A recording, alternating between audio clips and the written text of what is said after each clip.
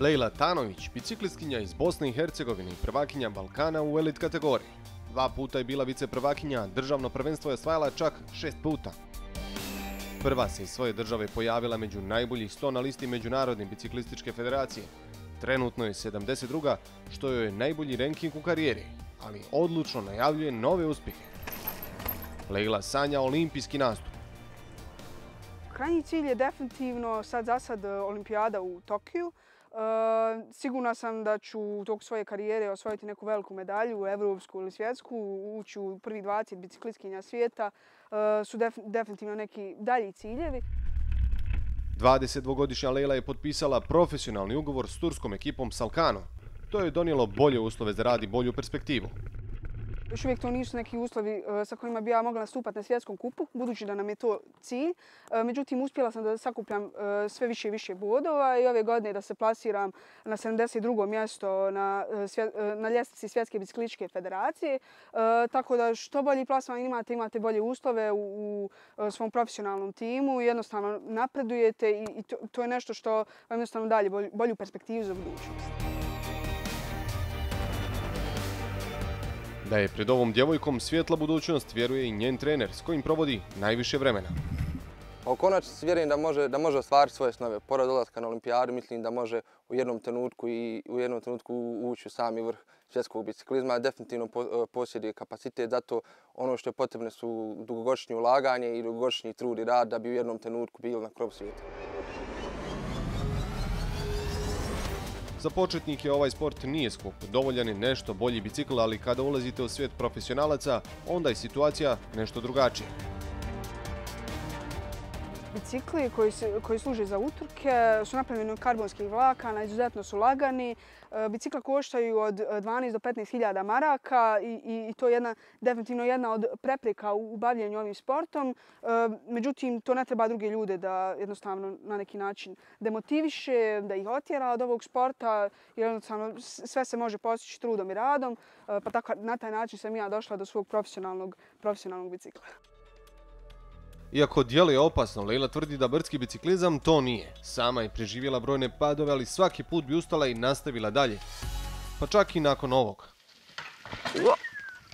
Kada su pitanju padovi, oni su obično na nekoj mekanoj površini, na zemlji, na kamenju i, i to je jednostavno nekako se otkotrljate i, i e, povrede nisu tako česte. Čak su teže, e, teže su povrede u cestovnom biciklizmu, budući da padate na cesti, ima mnogo auta, tvrđa je podloga.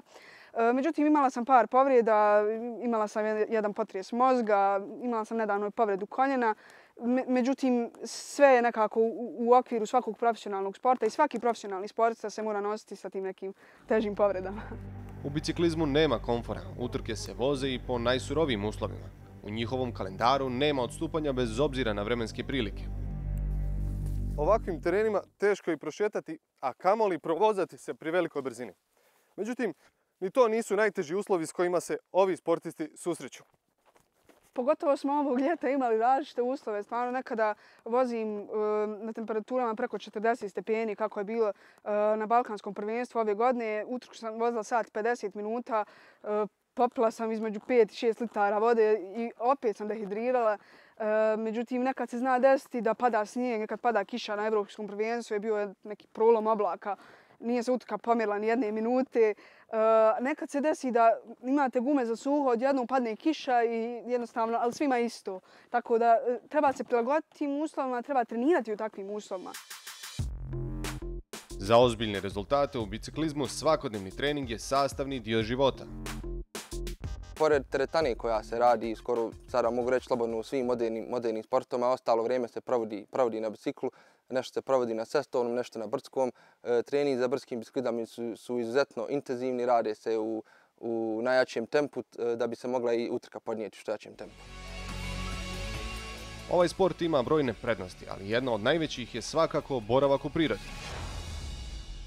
Imala sam nekako mnogo uh, situacija sa životinjama. Sretala sam, sretala sam mnoge životinje, vidjela sam, jednom sam vidjela lane, e, medvjeda, vjevericu, e, jedna djevojka je vidjela i risa, tako da jednostavno, e, pošto nekada vozimo maratone koje traju jako dugo, između 3-4 sata, nema mnogo ljudi i onda vi se susrećete sa, sa stvarno, sa divnom prirodom i utrke se općenito nalaze na planinama, u prirodi i, i jednostavno se upoznam sa različitim pejzažima i uh, sretna sam što imam priliku da doživim takve stvari.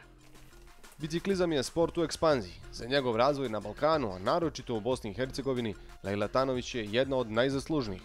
Želja joj je da njenim tragovima pođe što veći broj ljudi. Za sportski magazin iz Sarajeva, Haris Lato.